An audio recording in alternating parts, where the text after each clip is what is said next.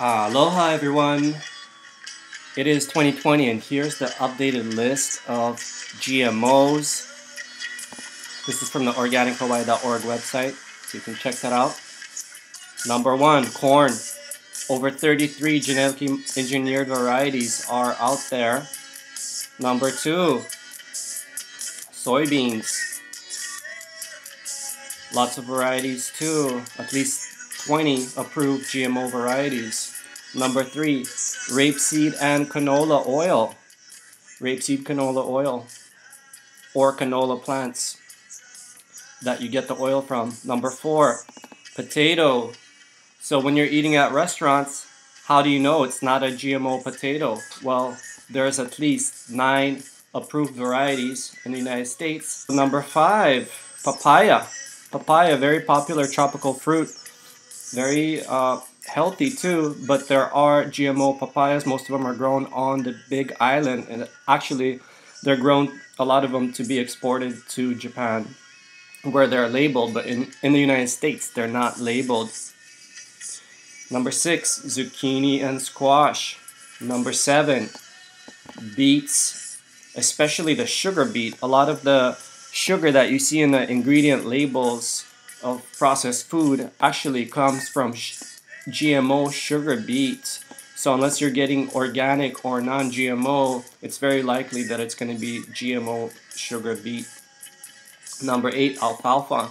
This is mostly used for uh, to feed animals and livestock, but if you like sprouts, make sure you get organic kind. Number nine, flax. Another healthy food, flax oil is uh, very popular in health circles, but there is a GMO flax out there, and uh, a lot of it is used for animal food. But make sure when you get your flax oil, it's uh, organic or non GMO. Number 10, apple. In 2015, FDA approved the Arctic apple. It doesn't brown, that's a GMO apple. Number 11, plum. Number 12, salmon. Farm raised salmon. Wild salmon, of course, is not genetically modified, but at the end of 2015, FDA approved the uh, genetically modified salmon known as frankenfish. It's not the actual name of it, but that's what people in health food circles call it because it's a mixture of sea eel and wild salmon. It makes it grow like double the size of regular wild salmon. So that's kind of scary. Number 13, cloned meat. Have you thought about cloned meat? In 2008, FDA approved cloned meat and derivatives for human consumption. So, mmm, cloned meat sounds delicious, right? Not.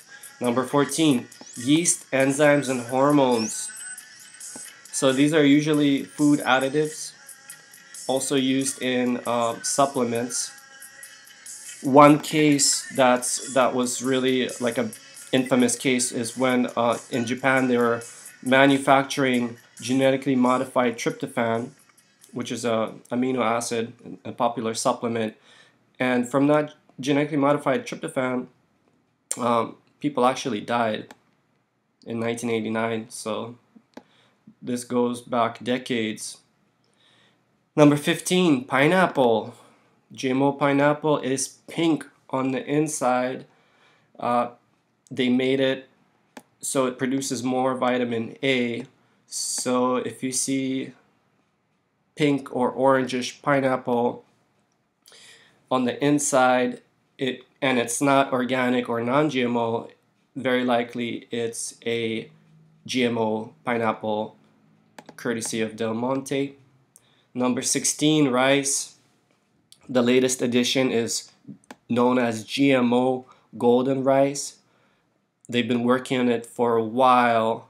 Uh, Rockefeller back in the 80s started working on, working on it and they were doing trials in 2013 eco activists actually uprooted gmo golden rice in an experimental plot because They didn't like the GMO rice, but now it's approved for human and animal consumption in the United States as of 2018. Uh, not for crop cultivation, that means that GMO rice is grown in other countries and then brought to United States as well as Australia, Canada, and New Zealand. Number 17, sugarcane.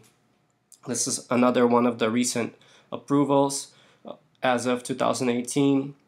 Uh, approved in the United States for consumption as well as in Canada and Brazil. And this actually was created uh, in Brazil in the Centro de Tecnologia Canavieira, which is the biggest sugarcane research center in the world. So in the US, it's not approved for cultivation but it is approved for human consumption. So when you look at sugarcane ingredients, make sure you're getting products that are non-GMO or organic if you want to avoid the possibility of GMOs. Here are some additional GMO considerations. Some of them are food, some of them are not. Cotton, so that includes clothing made out of cotton, towels made out of cotton, bedding, anything, even cotton balls or Q-tips if you're gonna put something in your ear, even things like uh, tampons and stuff like that. So it might be smart to avoid GMO cotton and get organic cotton or non-GMO cotton, but organic is better because you know it's, it cannot be sprayed by synthetic toxic chemicals. But the thing about the GMO cotton uh, and having it touch your body is that those chemicals, in, in, including glyphosate, uh, would be touching your body, especially those sensitive body parts. And you know, skin, it's a membrane, so anything that touches it, especially if it's um, you know some kind of chemical or oil based or water based, it can go it can go inside of your bloodstream quite quickly. Number two, tobacco. Again, this is not a food, but obviously this is what people smoke in cigarettes. So they've had GMO tobacco uh, for a while now, and that means it's most likely sprayed with pesticides, herbicides, fungicides, and people are inhaling those pesticides, herbicides, fungicides.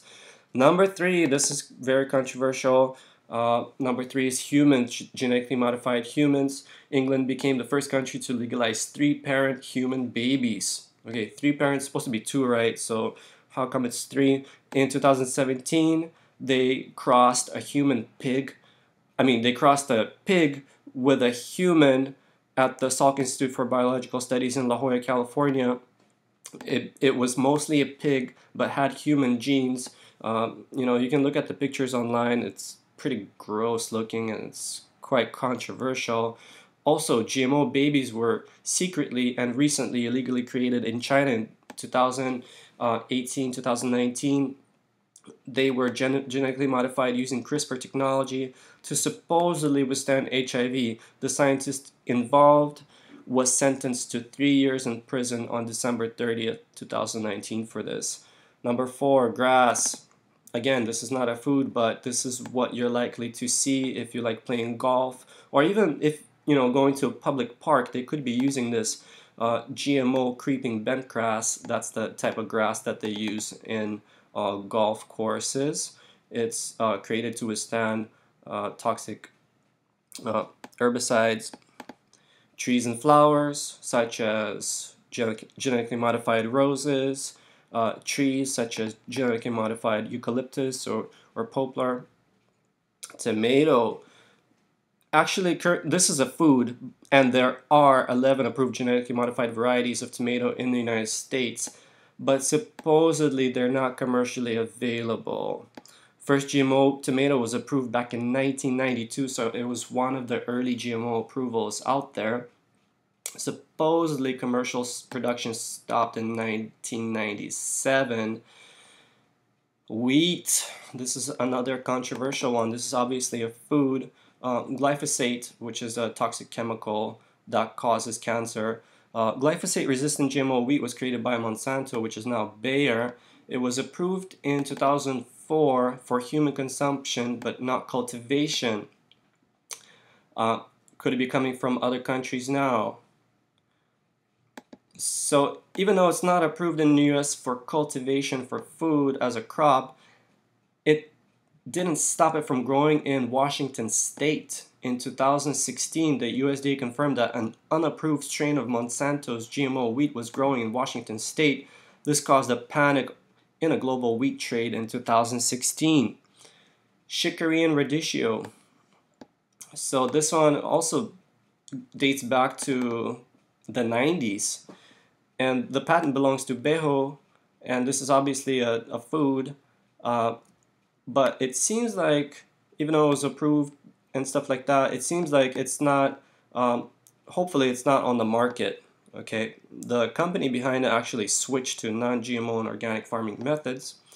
Melon and cantaloupe application for growing GMO cantaloupe in the US was withdrawn in 04, yet it remains approved for consumption by FDA. So could it be coming from countries like Mexico, for example, where you have cheap labor and uh, not so much oversight?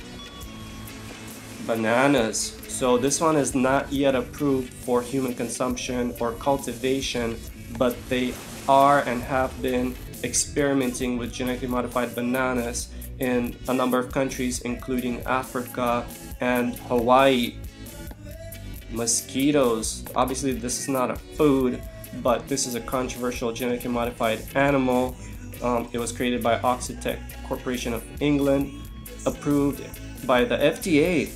Uh, in 2016 to be released in Florida. So watch out for those mosquitoes uh, biting you or your loved ones. They can be identified by green glowing eyes. Just wow. Number 12, stevia over here. So stevia is a popular sugar substitute and it comes from a plant by the same name, stevia. The plant itself is not genetically modified, however, chemical compounds that mimic stevia's sweet taste are synthesized from genetically modified yeast by Cargill. They call it EverSweet, and best way to avoid it is by buying organic or non-GMO verified stevia containing products. Okay, so this is uh, a sugar substitute that they're using genetically modified compounds to mimic stevia's sweet taste. So how to avoid all of these? Well, best way to avoid all of these GMOs is to buy organic because in organic you cannot have any GMOs and you cannot have any synthetically uh, toxic herbicides, pesticides, basically chemicals that they grow regular food with. Uh, regular meaning conventional, uh, and and you know buying non-GMO is also one way to avoid the GMOs. But the problem with when you buy non-GMO food is that it's very likely that it is sprayed with toxic chemicals when they grow it. So if you're trying to avoid toxic chemicals that have been linked to a variety of really bad conditions like chronic conditions like cancer and autoimmune disease, etc., destruction of uh, gut flora, etc. If you want to avoid those chemicals, it's best just to buy organic and you know you can even grow your own if you have time for that but obviously most people uh, cannot so uh, you can check out the article by going to organichawaii.org and uh, leave a comment. Let me know what you think about this list. If you have any questions, feel free to leave them in the comments section. And have a happy and safe GMO free New Year. Aloha.